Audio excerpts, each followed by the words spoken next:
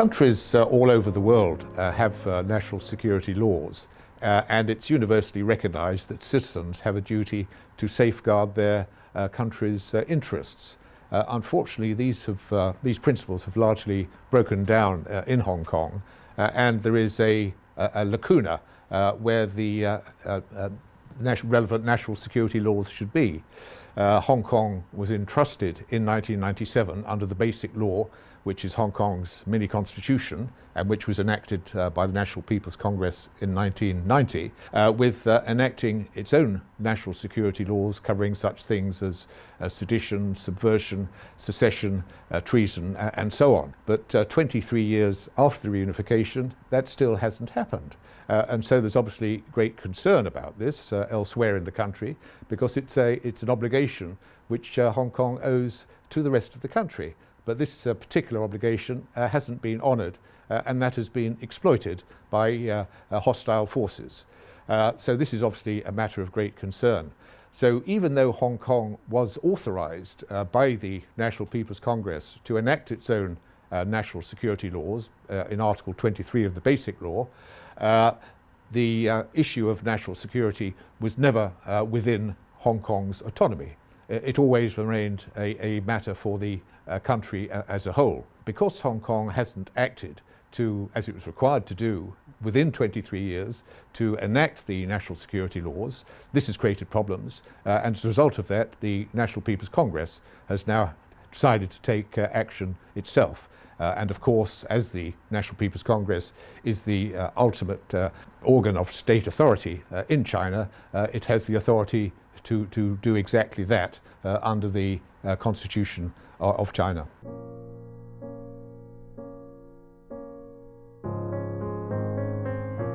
Jurisdictions all over the world do have national security laws. Hong Kong is now the only part of China, incredibly, which doesn't have any national security laws, uh, and this has been taken advantage of by people who want to harm Hong Kong directly uh, and harm China itself indirectly by using Hong Kong.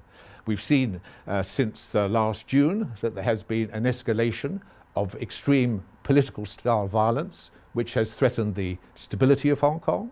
Uh, it sought to challenge the authority uh, of the central authorities over Hong Kong uh, and it's also uh, had an element of secessionism attached to it. Some of the violent protesters have made it quite clear that they want to have an independent Hong Kong.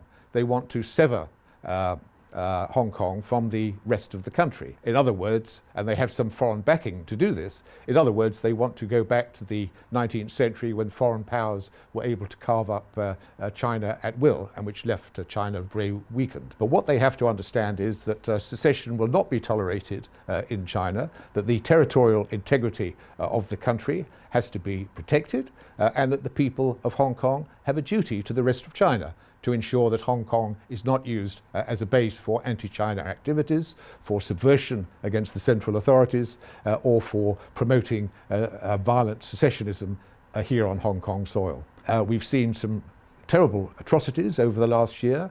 We've seen uh, police officers being attacked with petrol bombs. We've seen people being killed and maimed often because when their only crime is to have a different view to that of the protesters.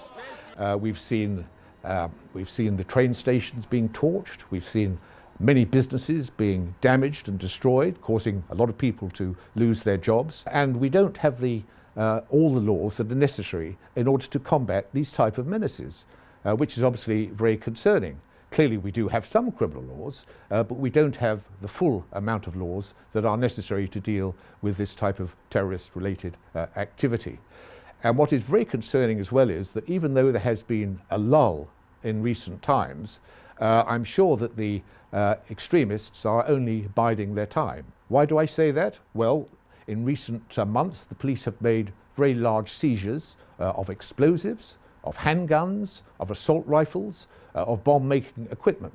Uh, and I'm sure, I have no doubt, that this was being prepared in order to resume the urban warfare uh, here in Hong Kong that we saw earlier on. But even though the police have made some significant seizures, uh, this is probably only the tip of the iceberg. And there's still a lot of, I'm sure there is still a lot of uh, weaponry out there. So it's absolutely vital that before the, uh, the war on society resumes again, that uh, Hong Kong does have in place all the tools it requires in order to defend itself uh, and to, to defend the country as a whole.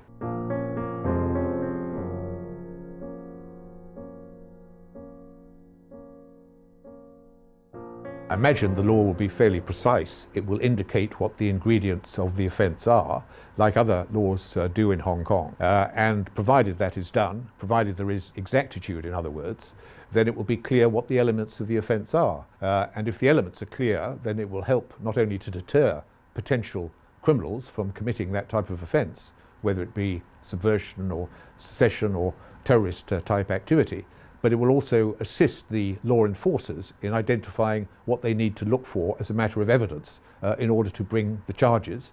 Uh, it will assist the prosecutors uh, because they will be able to tell whether the legal ingredients of the offence are satisfied. And it will also assist the courts uh, in due course when the cases are tried uh, because uh, they will know exactly what the elements of the offence are and whether they've been proved.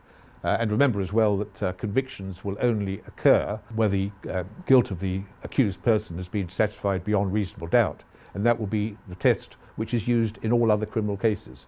So legal processes, the usual legal processes which are applied to other types of criminal offences will be equally applied to these offences. If there are uncertainties or ambiguities, then I imagine they would be resolved in favour of the accused person.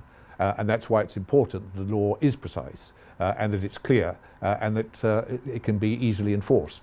Uh, and I'm sure that the drafters are very much aware of that uh, and they will be keeping these points in mind.